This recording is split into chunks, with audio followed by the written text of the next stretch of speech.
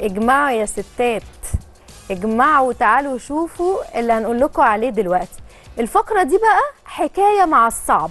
ضيفتنا ست ب راجل. قدرت إن هي تثبت إن مفيش حاجة اسمها للرجال فقط دي خالص وأثبتت بالدليل القاطع إن الست المصرية قادرة تنجح قادرة تتفوق في أي مجال وتبقى زي ما بنقول البريمو. منورنا في الفقرة النهاردة المهندسة إيمي اللي هي حصلت على جائزة كبيرة جدا جدا وحققت نجاحات كتير جدا. ومش عايزة أحرق لكم بقى القصة هي مهندسة ميكانيكا سيارات. خلاص؟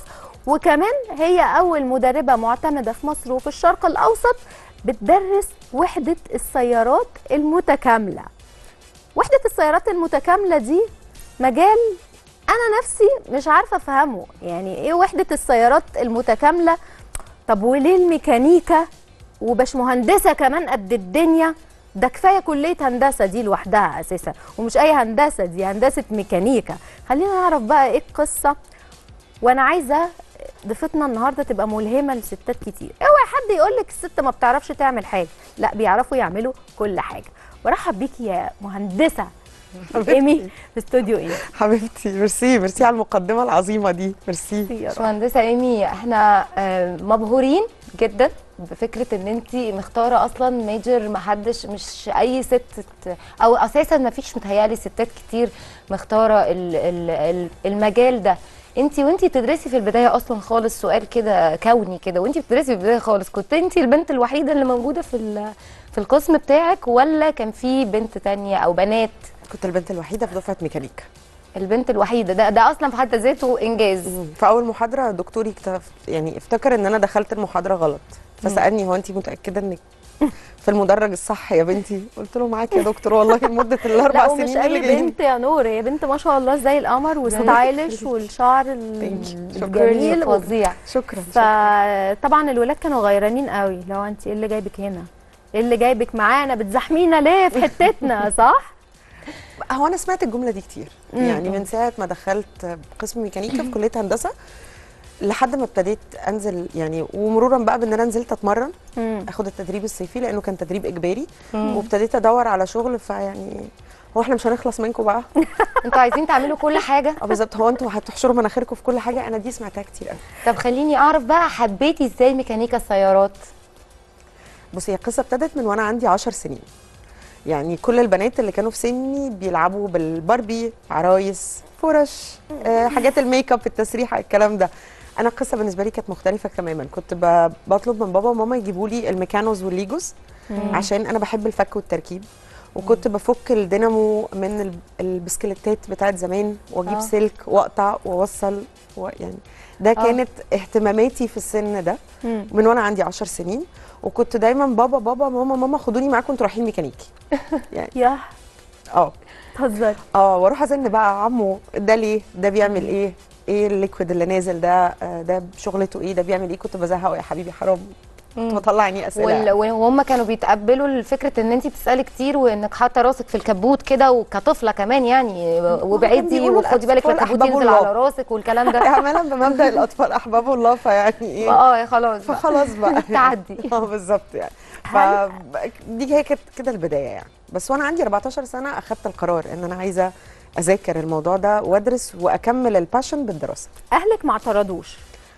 آه لا هم مش بس ما اعترضوش هو يعني ماما الله يرحمها آه كانت دايما عندها فكرة إنه التعليم بالذات براحتك. مم. اختاري اللي انت عايزاه التعليم أو الجواز. القرارين دول ما ينفعش حد ياخدهم عنك وما ينفعش حد يختار لك حاجة.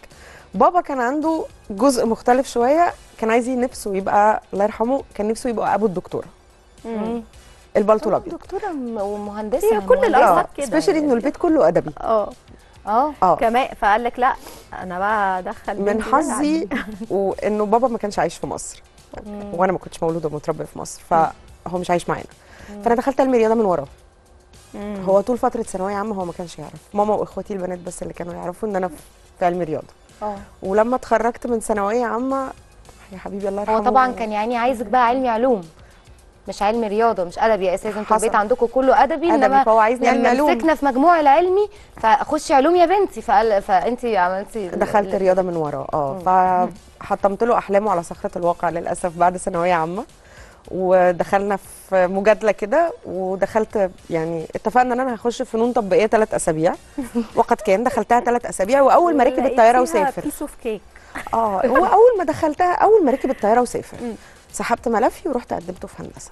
طيب خلينا ن skip الحتة دي ونخش بقى في حتة العملي بقى. دخلنا بقى بقينا ميكانيكا سيارات. آه. احكي لنا التجربة دي واحكي لنا أكيد اتعرضتي للتنمر. ده أساسي يعني. ما بعدش يا جيمي. ما تعدش يا جيمي بالظبط. احكي لنا بقى التجربة دي. بصي هو يؤسفني إن أنا أقول لك إنه ما- مش بس كان تنمر هو كان محاولة للأذى يعني أنا كان في صناعية بتعلمني غلط. آه أصلا يعني من كتر ما قاصدين آه يعني من آه. كتر ما. الموضوع يعني هو الحمد لله ربنا وفقني إن أنا لما نزلت التدريب الصيفي مم. أنا ابتديت أشتغل وأصرف على نفسي وأنزل تدريب صيفي من من أول أجازة صيف في أولى تخصص مم. ف وده إنجاز في حد ذاته أنت لسه الحمد لله كان فضل وتوفيق من ربنا. سبحانه آه. وتعالى طبعا مم. فكان حظي الحلو وتوفيق من ربنا إن أنا دخلت في شركات أجانب لأن كان للأسف ثقافة المجتمع المجتمع الشرقي في وقتها إنه لأ إحنا مش هناخد بنات ندربها. فدخلت في شركات فيها أجانب فكانوا مرحبين بالفكرة فلما الصناعيه لقوا إن الموضوع أمر واقع فقالوا مش هنعرف نرفض هنفشلها. فكنت بتع... بيعلموني غلط بيدولك تريكات غلط بقى ده لا. ده هو القصة كلها يعني من أولها لآخرها كلها غلط غلط. آه، آه، لولا إن أنا. بذاكر بس آه. وبدعبس وبدور و- وكده كان زماني في حتة تانية خالص مم. بس يعني الحمد لله عرفتي تعتمدي على نفسك وعرفتي إن انت مهما كان في صعوبات ومهما كان حد بيحاول يوقعك لا أنا هعتمد على نفسي والكتب موجودة والمذاكرة موجودة واللي أنا عايزاه هيحصل يعني هيحصل ده حقيقي ده حقيقي طيب بدأتي تصلحي بقى؟ آه. واحكي لنا بقى البارت ده أنا مستنياه. ابتديت ب صبي مساعد في الحرفيين. مم. كنت بلم قطع الغيار اللي اللي اتغيرت من على الأرض وابتدي أتعلم قطع الغيار دي إيه. ثانية واحدة. صبي مساعد. ميكانيكي. لا استني بس. في الحرفيين آه. آه الحرفيين اللي بجد. إحنا ممنوع نروحها دي ممنوع أنا ما. أعرفش إيه؟ لا ليه بقى في ستات كتير قوي بتروح. أنا والله. لا أنا دايما كنت بسمع يعني رايحين الحرفيين بابايا وجدي وكده رايحين الحرفيين راجعين خدوني معاكم كنت بروح للميكانيكي. وأنزل وأساعد وكده إنما نروح الحرفيين ده شيء صعب. كملي كملي. بس إحنا رايحين دلوقتي. أنا جاية معاك أنا جاية لك أصلا. كده إحنا رايحين رايحين أنا بعد يعني. كده هقول هقول إن أنا رايحة أصلح عربيتي بنفسي لأن أنا هشوفك انت اتفضلي. ربنا يخليك. كملي يا حبيبتي فابتديتها كده في الحرفيين.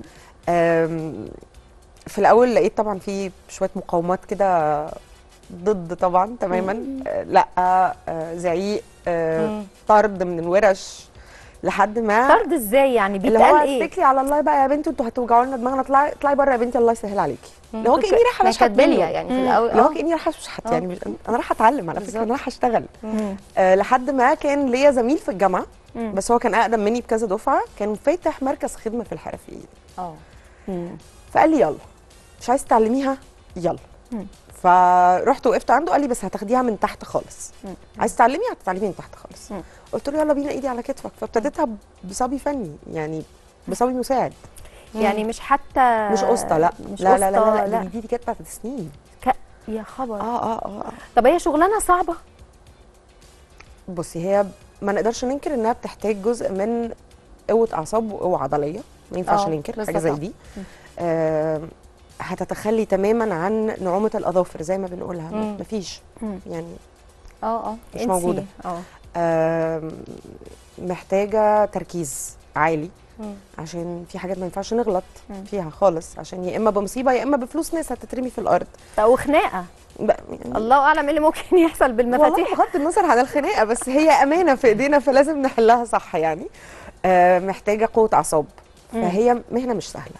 ده ده كده كده. ولكن هو هي قصة قصة إرادة. بالظبط. هو أنت اختيار فبتتحملي نتائجه لآخرها. اختيار وأنت عارفة أنت رايحة فين وهتوصلي لإيه. بس نجحتي. الحمد لله. زباينك بقى كلهم ستات ولا ستات ورجالة؟ في الأول ما كانش في ستات أصلا بترضى تشتغل معايا. آه اللي هي بقى فكرة اللي هو دي ست. أنا أسلم عربيتي لست؟ آه لا, لا بالظبط. يعني في الأول لا. آه. وبعد وقت خلاص اسمي اتعرف الحمد لله ولا يعني بقت في ناس بتجيلي بالاسم وفي ناس لما بتحرك من توكيل لتوكيل بتبيع عربيتها وتشتري العربية الموديل اللي أنا رحت أشتغل فيه. متهيألي دلوقتي. بقى كل الرجالة اللي بتتفرج علينا مراتاتها تروح للميكانيكي في أمان يعني من غير ما تبقى تتعرض لأي موقف لأن هم بيخافوا إن هي تكون واقفة لوحدها وسط رجالة. فلا دلوقتي خلاص الدنيا تمام أهو وفي ستات بتعمل كل حاجة. إحنا ستاتنا زي الفل وبيعرفوا يفرضوا احترامهم في أي حتة. طبعا. ده كده كده. إحنا كده كده أه بس الرجالة بقى اللي حوالينا عندهم بقى حاجات غريبة. طيب أنا عايز أسألك حاجة مهمة جدا والنبي. أنا السؤال ده هيجنني. أصعب عربية وقعت تحت إيدك وخلاص يعني شفتي إن الحل فيها نرميها. خد منك فترة طويلة جدا. واحتاجتي consultant consult consult. consult بالظبط. آه بصي آه مفيش أصعب عربية ومفيش أسهل عربية. العربيات في منها السهل الممتنع. بس هو للأسف مش هقدر أتكلم في ماركات. آه بس في طبعاً. عربيات فيها السهل الممتنع. يعني تقعدي تلفي حوالين نفسك وفي الآخر تطلع الألماني. بلدها بلدها. نقول بلدها إيه؟ الألماني؟ الأوروبي. الأوروبي آه عموما الاوروبي مم.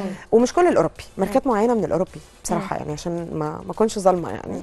في عربية قعدت في إيدي ثلاث أيام. عميل بيقول لي أنا في عندي عصفورة بتصوصو مع التكييف. مم. طلعوا لي العصفورة. أشغل التكييف أسمع فعلا صوت صوصوه دوري أربع خمس أيام بقى فين الصوصوة؟ طلع بعد كده السلك بتاع الكبوت بيحك في علبة الفيوزات. فالمعدن مع البلاستيك ده عاملين صوت صوصوة. عشان العلبة دي قريبة من ال compressor فال vibration يعني قصة كده بس تهت فيها أربع أيام. بس ما كانتش صعبة. ايمي حسني مهندس ميكانيكا استمتعنا جدا باللقاء الصغير جدا دون وأكيد. لينا لقاءات تانية نعرف فيها تفاصيل أكتر. نشكرك شكرا جزيلا. شكرا ليكي. مشاهدينا فاصل سريع ونرجع على طول.